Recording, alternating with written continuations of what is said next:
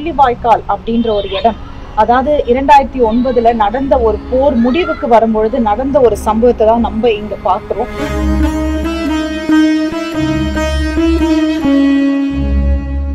ஆனா இதுக்கு பின்னாடி நிறைய வலிகளும் கண்ணீர் துளிகளும் தான் இருக்கு. அதை நான் சொல்றதோட இன்னைக்கு நாங்க தஞ்சாவூர்ல இருக்கிறதுனால நம்ம கூட கெனடி சார் இருக்காரு. இந்த இடத்துல ரொம்ப வருடமாவே இருக்காரு. இதை பத்தி அவருக்கு நிறைய விஷயம் தெரியும். சோ அதை அவர்கிட்ட நம்ம கேட்டு தெரிஞ்சுக்கலாம்.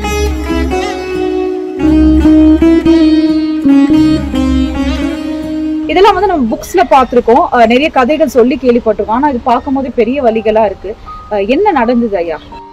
ஈழத்தில் வந்து ஈழத்தமிழர்கள் வந்து தங்களுக்காக ஒரு தனிநாடு கேட்டு ஒரு முப்பது ஆண்டுகளுக்கு மேலாக ஒரு பெரிய நீண்ட வரலாறு இருக்குது அதில்.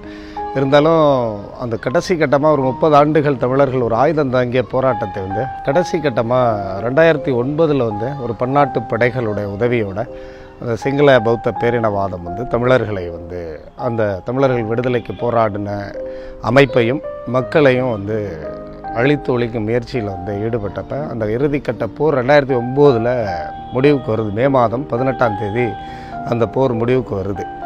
தடை செய்யப்பட்ட ஆயுதங்கள் பன்னாட்டு சர்வதேச போர் நெறிமுறைகளுக்கு முரணான அந்த யுத்தத்தை நடத்தி ஒரு ஒரு லட்சத்தி நாற்பதாயிரம் தமிழர்களை வந்து கடைசி காலகட்டத்தில் அந்த ஒரு ஒரு மாத காலத்துக்குள் மிகப்பெரிய ஒரு இனப்படுகொலையை வந்து சிங்கள அரசு நடத்தியது.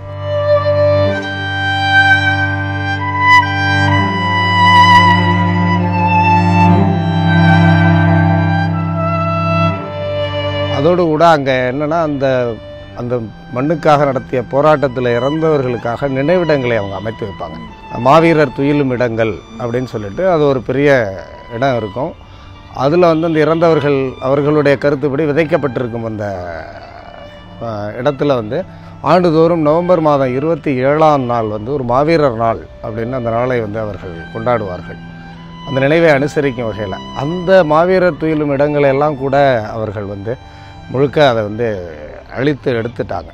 அப்போ அந்த மக்களுக்கு வந்து இந்த போராட்டத்தின் நினைவையும் இந்த போராட்டம் ஒரு மோசமான சூழலில் முடிவுக்கு கொண்டு வரப்பட்டதை பற்றியும் அந்த போரில் உயிரிழந்த லட்சக்கணக்கான மக்களுடைய நினைவை வந்து நினைவு கூறுவதற்கான வாய்ப்புகள் வந்து அங்கே மறுக்கப்பட்டிருக்கிற நிலைமையில் அதை வந்து இங்கே நிறுவனம் அதுக்கான ஒரு உலகத் தமிழர்கள் மத்தியில் இந்த போராட்ட வரலாற்றை கொண்டு செல்வதோடு அந்த மக்களும் வந்து இவர்களுடைய நினைவை போற்றுவதற்கான ஒரு இடமாக நாம் இதை உருவாக்கணும்னு சொல்லிட்டு உலகத்தமிழர் பேரமைப்புங்கிற அமைப்பு தலைவர் நெடுமாறன் தலைமையில் இருக்கிற அந்த அமைப்பு வந்து ஒரு முடிவு செய்து.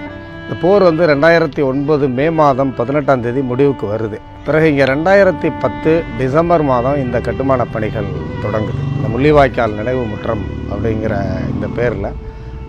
அப்போ வந்து தமிழ் ஆர்வலராகவும் தமிழ்நாட்டில் பரவலாக அறியப்பட்டவராக இருந்த திரு நடராஜன் அவர்களுடைய கிராமம் இது. அவர்களுடைய நிலத்தில் வந்து அவர்கள் இந்த நில நிலத்தை வந்து தராங்க. இந்த அமைப்புக்கு கட்டுமான பணிகளை மேற்கொள்கிறதுக்கு இது இரண்டு ஏக்கர் பரப்பளவில் இது அமைஞ்சிருக்கு. அந்த நினைவுகள் உள்ளே வந்து உள்ள மண்டபம்லாம் இருக்குது நீங்கள் பார்த்தீங்கன்னா தெரியும். மாவீரர் மண்டபம் இருக்குது முத்தமிழ் அறிஞர் மண்டபம் இருக்குது இந்த பகுதியை வந்து அந்த இந்த சிற்பங்களை பார்த்தீங்கன்னா தெரியும் உங்களுக்கு. ஓவியர் வீர சந்தானம் அவர்களுடைய ஓவியங்களை வந்து கிட்டத்தட்ட ஒரு நூற்றுக்கும் மேற்பட்ட சிற்பிகள் வந்து ஓராண்டு காலம் இங்கேயே இருந்து தங்கி இந்த கற்கள் எல்லாம் வந்து இங்கே தஞ்சாவூரை பொறுத்த வரைக்கும் இது மாதிரி கற்கள் கிடைக்காது.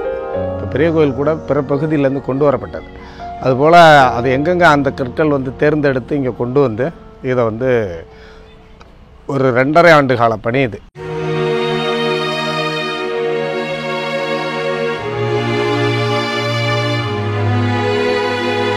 இங்கே தங்கி இருந்து சிற்பிகள் வேலை செஞ்சாங்க. அதில் வந்து இந்த முள்ளிவாய்க்காலில் நடந்த அந்த இனப்படுகொலை காட்சிகளை வந்து இது ஒரு ஐம்பது அடி ஐம்பத்தைந்து அடி நீளமும் பத்து அடி உயரமும் உள்ள ஒரு கட்டுமானம் இது. இது தனித்தனி கற்களில் வந்து செதுக்கப்பட்டு பிறகு ஒன்றாக இணைக்கப்பட்டது ஆனால் இது ஒரு ஒரு ஒரு ஒட்டுமொத்தமாக ஒரு படத்தை வந்து உருவாக்கிக்கிட்டு தனித்தனி கற்கள் அதை நடந்த சம்பவங்கள் தான். இது பார்த்தீங்கன்னா உங்களுக்கு தெரியும். அந்த தமிழர்களுடைய நாக்குகளை அறுப்பது தமிழ் பேசினாங்கங்கிறதுக்காக அவர்களை கழுத்தறுத்து படுகொலை செய்வது பெண்களை மானவங்கப்படுத்துவது பிறகு கடைசி கட்டத்தில் அந்த கொத்து குண்டுகள் வீசி அப்புறம் மக்களை வந்து முள்வேலி முகாம்களில் அடைச்சி வைத்த ஒரு காட்சிகள். பிறகு புலம்பெயர்தல் அங்கிருந்து மக்கள் வந்து தங்களுடைய வாழ்விடங்கள்லேருந்து அங்கே நெருக்கடி காரணமாக வெளியேறுறது இது எல்லாத்தையுமே காட்சிப்படுத்தினது தான் இந்த சிற்பங்கள்.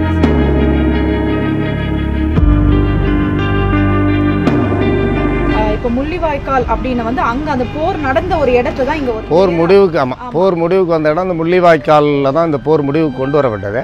அதனால அந்த பேரை வச்சு தான் இங்கே முள்ளிவாய்க்கால் நினைவு முற்றம் அப்படின்னு நாங்கள் வச்சுருக்கோம். இந்த ஊர் பேர் வந்து விளார்னு பேர்.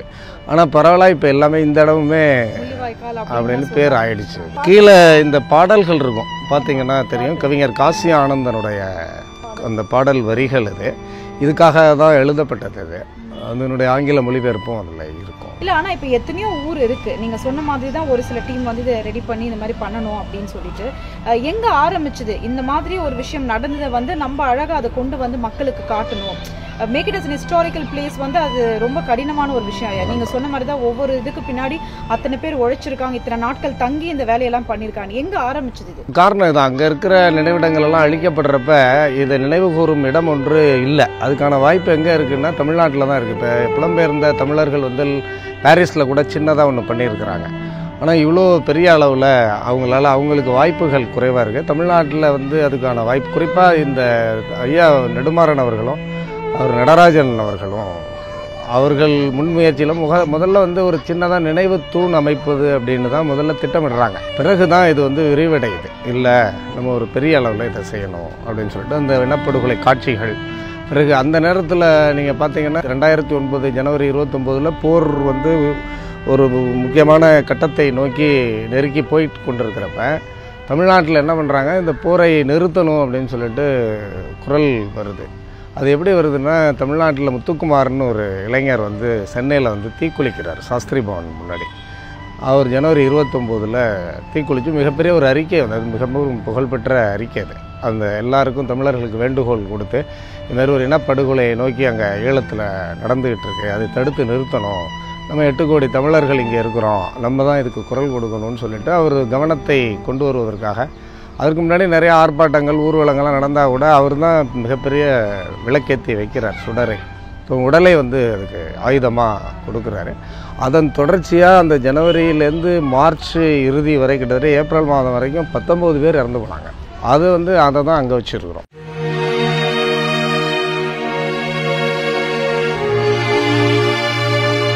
தமிழ்நாட்டு தமிழர்கள் தமிழ்நாட்டு தமிழர்கள் மட்டும் இல்லை அதில் ஒரு ரெண்டு பேர் வந்து ஈழத்தமிழர்கள் மலையாள மலேசியா ஆ, இருக்கு ரெண்டு பேர் இருக்கிறாங்க.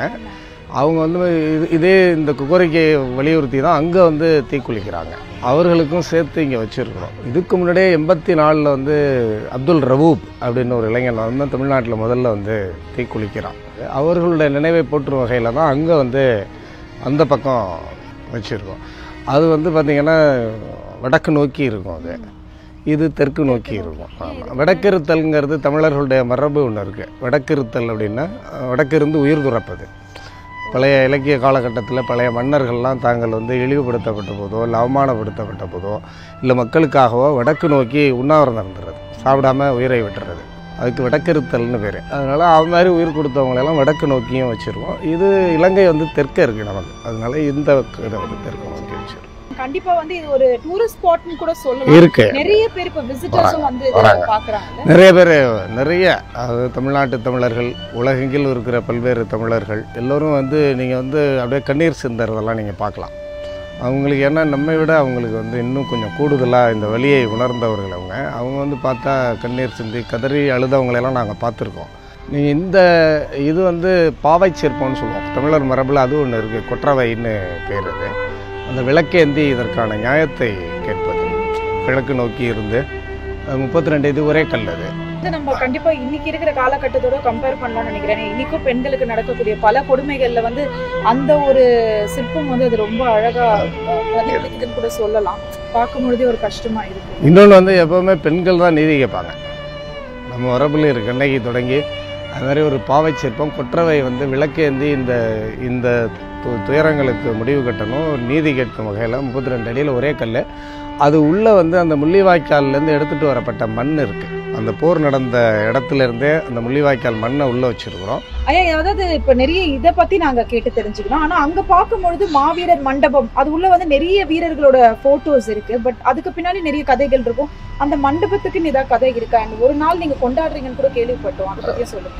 ஒரு சிங்கள இராணுவத்துடன் நடந்த ஒரு சண்டையில் வந்து முதல் முதலாக ஆயிரத்தி தொள்ளாயிரத்தி எண்பத்தி ஏழு நவம்பரில் வந்து நவம்பர் இருபத்தி ஏழு அன்று சங்கர்னு ஒரு வீர மரணம் அடைகிறாரு. அந்த நாளை தான் வந்து அவங்க மாவீரர் நாளாக ஏன்னா அதுக்கு பிறகு இப்போ ஒவ்வொருத்தரும் ஒவ்வொரு தேதியில் இறக்குறப்ப எல்லாத்தையும் ஒரு பொது நாளாக கொண்டாடணும் அப்படின்னு சொல்லிட்டு அந்த இறந்தவர்கள் எல்லாம் அவங்க மாவீரர் துயிலும் இடங்கள்னு சொல்லிட்டு ஈழம் பூரா நிறைய இருந்தது. அந்த அமைப்பினுடைய தலைவர் அவர்கள் நே அந்த தொலைக்காட்சி மூலமாக அந்த மாவீரர் நாள் உரையை வந்து நிகழ்த்துவார். மாவீரர் மண்டபத்தை பொறுத்த வரைக்கும் நம்ம ரெண்டாக பிரிச்சிருக்கோம். ஒரு பகுதி வந்து ஈழத்தில் வந்து அந்த மண் உரிமைக்காகவும் அவங்களுடைய விடுதலைக்காகவும் போராடிய அம்ப அப்பேலேருந்து மன்னர்கள் காலத்திலிருந்து கடைசி ஈழ தமிழ் மன்னர் காலத்திலிருந்து இப்போ கடைசியாக நடந்த போராட்டம் வரைக்கும். இன்னொரு பக்கம் வந்து தமிழ்நாட்டு தமிழர்களுடைய அந்நிய ஆதிக்கத்தை எதிர்த்து போராடியவர்கள் அதில் உயிர் பிறந்தவர்களுடைய புலித்தேவர் கட்டபொம்மன் அஹ், மருது பாண்டியர்கள் வேல் நாச்சியார் அது மாதிரியான ஆட்களுடைய படங்களும் இன்னொரு பக்கம் இருக்குது நன்றி That's right.